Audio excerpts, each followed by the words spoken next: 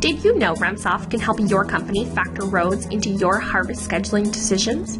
Today we'll give you a peek into what's possible, whether you're an existing REMSoft client or not. Optimization of short term plans is a major focus of forestry companies, and minimizing road costs while coordinating them with the harvest scheduling process is an important part of that planning. Road building and maintenance costs can comprise a big portion of your planning budget, so a well planned network of roads will have noticeable impact on operational expenses. REMSoft enables connected decision making to coordinate road planning with harvest scheduling.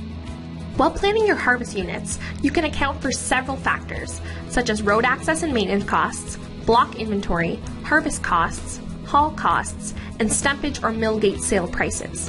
So, you continue to address all of the complexity of your business drivers but add roads into the equation.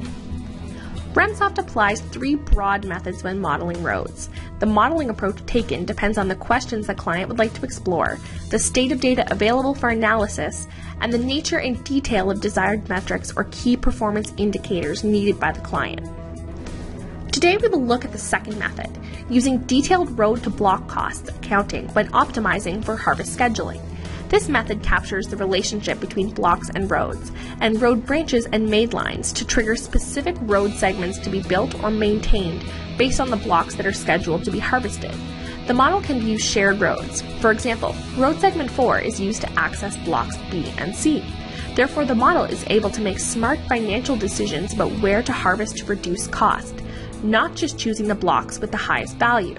In this example, the model would likely schedule B and C in the same period, rather than F and C because of cost efficiencies. This model is solving a tactical scheduling problem.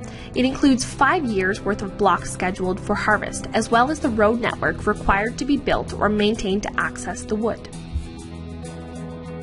By modeling a relationship between the road network and blocks, we are able to consider road costs to build and access when harvesting blocks.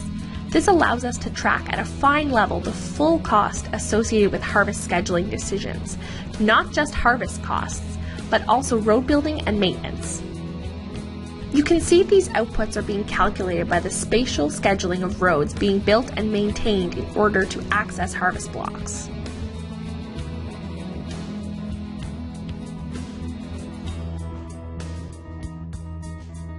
But let's go a step further.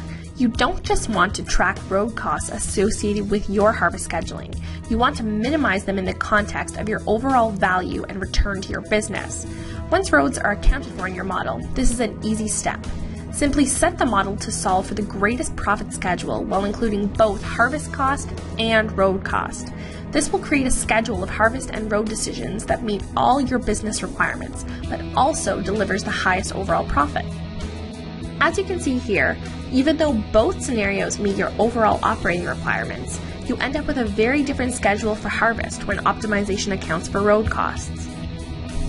This change in spatial scheduling reflects the significant ability to reduce road costs associated with harvest access by optimizing for road scheduling in your model.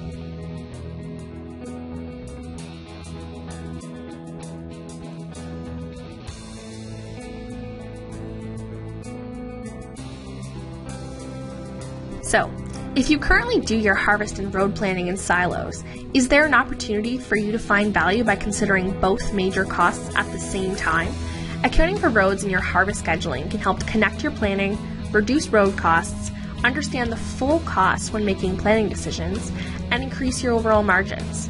Finally, don't be concerned if you don't think you have the data to support a detailed scheduling model. The method through which your organization models roads can vary depending on the data you have available, the level of planning you want to examine, and the types of questions you want answered. There are many options that can help you ask and answer business questions and find operational value increase. For more information, a white paper, or to set up a demo with our team, contact REMSoft today.